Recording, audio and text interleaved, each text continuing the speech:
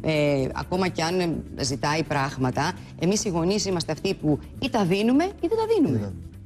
Οπότε, αν τα δίνουμε, σημαίνει ότι μπορούμε και να τα δώσουμε. Αν δεν τα δίνουμε, Παιδιά 14, 15, 16 χρονών, 13, 12 καταλαβαίνουν τι είναι χρήμα. Ο πιτσιρικάς σου με 6 χρονών δεν ξέρει τι είναι χρήμα, ξέρεις είναι ένα πράγμα που είναι εκτός. Του μην κάνεις αυτό, ρε, δεν έχουμε λεφτά να ψωνίζουμε όλη την ώρα τα σπά τα κουπλάκια, τα κουπλάκια, τα, κουπλάκια, τα Αυτό παιχνιδάκια κλειδάκι, αυτά, τα, τα λέγκο.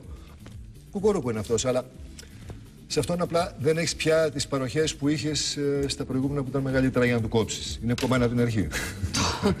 το λες όμως, το λες γιατί και το πιτσιρίκι των 6 χρονών όταν πάτε στο, στο παιχνιδάδικο να, να αγοράσει το Εννοείται, παιχνίδι αυτό του. είναι ναι, ακριβό. Εκεί Αυτό το είναι λέμε, ακριβό. το λέμε και του εξηγούμε. Δηλαδή είναι σκόπιμο και σε αυτό το παιδάκι να, να εξηγήσουμε. Γιατί και εκεί θα υπάρχουν άλλες παροχές δραστηριότητες που τα βάζουμε από μικρά τα παιδάκια μας. Στα πιο μεγάλα είναι λίγο πιο δύσκολα τα πράγματα. Γιατί το δεκάχρονο, ας πούμε, όταν το καλέσουν στο πάρτι του φίλου του, ε, ξέρει και τι θέλει να πάει.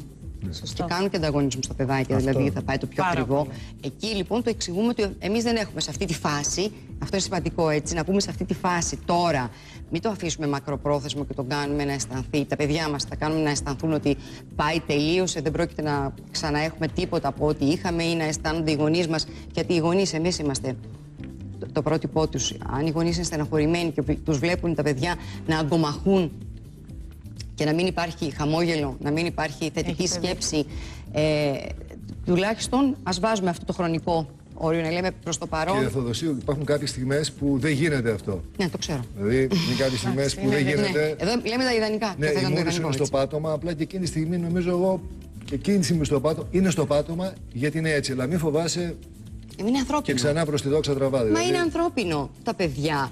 Ε, Κανείς δεν θέλει να, να βρισκόμαστε σε τέτοιες καταστάσεις, προς Θεού τώρα έτσι. Αλλά ε, α- αφού έγινε, τα παιδιά λοιπόν ας μάθουν ότι δεν είναι όλα ε, αγγελικά πλασμένα. Μακάρι να ήταν Η ζωή έτσι. είναι ζούγκλα δηλαδή και οι πρέπει να το μάθουμε γονείς νωρίς. μπορεί να είναι και στο πάτωμα και να κλαίνε και, μπο- και έχουν δικαίωμα να κλάψουν. Και έχουν δικαίωμα να είναι στο πάτωμα και έχουν δικαίωμα να είναι ο ένας στην αγκαλιά του άλλου και να, να σκέφτονται αρνητικά και να είναι στενοχωρημένοι. Όμως, να το δουν τα παιδιά, γιατί αυτά είναι μαθήματα ζωής. Δεν το συζητώ.